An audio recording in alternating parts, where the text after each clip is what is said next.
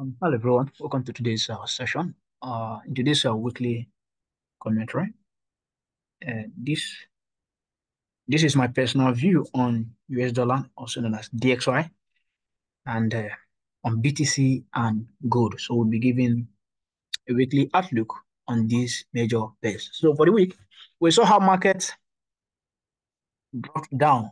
So for about uh, say one, two, four, right? One, two, for, for about a month now, DXY has been bearish, right? Which means most of uh, XX USD has been bullish, right? So since that is what we have been having for over four months, uh, four weeks now, I expect somewhat good reaction from here, at least mainly for back before we give other look, at least for the week, I'm expecting market to possible we read this low, then we get into this area before we start seeing what the retracement. So what I what I expect for the week is kind of like rejection candle like this, like a pin bar candle, of rejection candle. So I expect market to what give us what reaction the side before start going lower based on how price is reacting currently.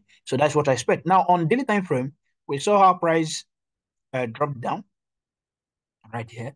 So since market dropped down, so the next uh, resistance uh, level we'll have this low, which is resistance level. All right, we have this resistance level. This low was broken. So if, if I'm to pick uh, the resistance level here, in terms of uh, this low, in terms of this particular candle right here, right? So I would pick this uh close of this uh bearish candle, which is this level.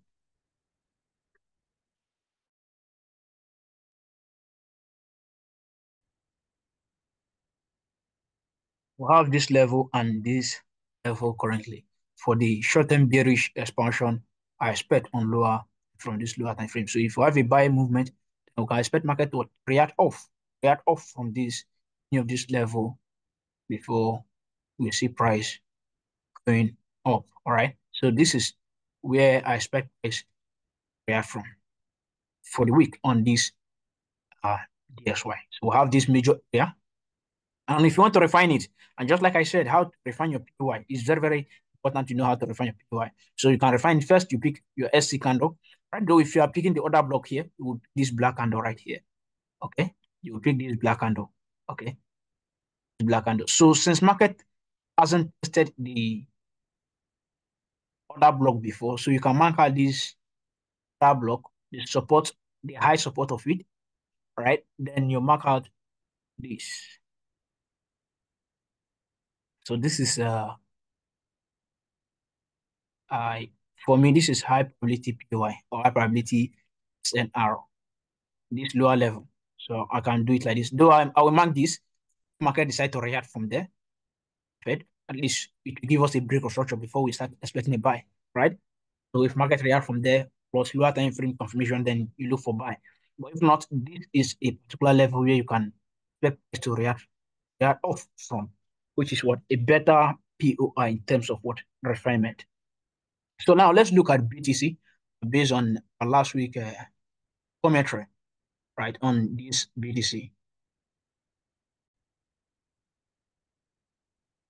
Okay, here we have a BTC market reacting from this particular level, and reacting off from this particular level, and you see how price moving upward. So though our current structure range still remain from this low this high, they still remain our current structure range. Now on daily time frame, we see how price uh, went off.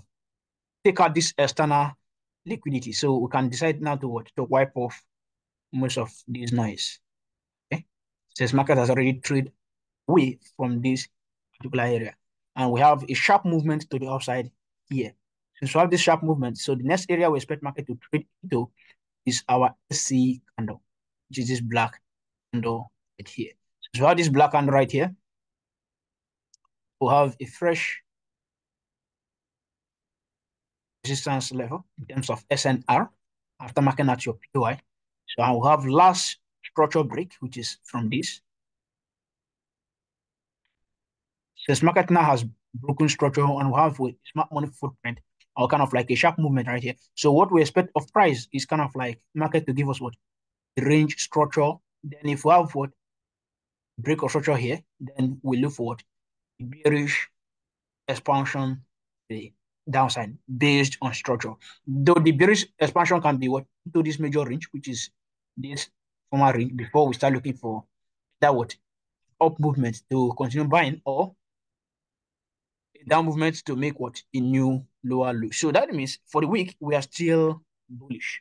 We are still bullish. So areas you can watch out for uh, bullish expansion. One is what this resistance support. Uh, this resistance level that on support now because market has already broken it. You see how many times market has tested the level. One, two, three.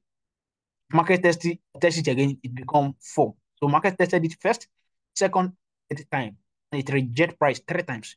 This is what a strong level. You notice around that level, that level has held price a lot of times. Has held price almost around here, around here, around here, around here. It's held price a lot. It head price a lot. So that is clear resistance or is support level. Okay, so now we have that level. Then on lower time frame, let's say on a um, on one hour time frame, we see how price is reacting currently. The market is the market look like what heading or is trying to what create a higher high.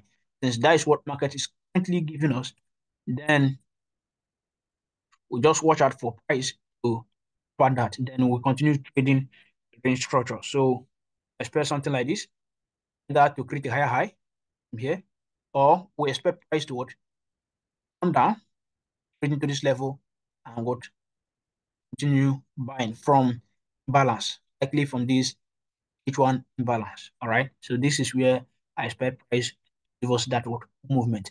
But if market, let's say for example, it first what get to this high. If first gets to this high, then I will expect it to what at least to induce liquidity around here before continuing going up. So the inducement, it can what it can happen. The inducement can happen around this level. Okay or it can happen at this support level. So these are the two levels expecting market to what to react from. So that is that on this BTC. Now we have uh, gold. So gold is quite clear, all right? It's quite clear. So on this H1, we are still bullish on gold, right? We are still bullish, making a higher high. So market now what? Came to this range because the last structure range is this this H1 time frame. Higher high, higher low, right? Good. So we have this higher high, higher low in terms of internal structure. In terms of internal structure. It came into this imbalance right here. Continue. So you have this internal structure continuation. So on on uh, H4 or daily time frame, this line you're actually seeing here, the higher time frame structure which is this, okay? So since markets now what? Reacting off from this imbalance of this internal structure range. This internal structure range. So that is a clear area where market can what was what buy continuation from. I have a POI right here, so which is this.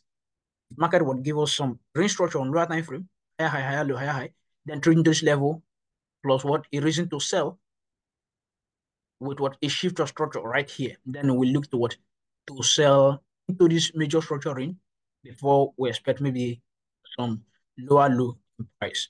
If not, then if market not give us any reason to buy, any reason to sell, then we expect what buy continuation outside for market to what continue making a higher high. That is what I expect of gold for this week. And that's all on uh, a DXY, gold, and BTC.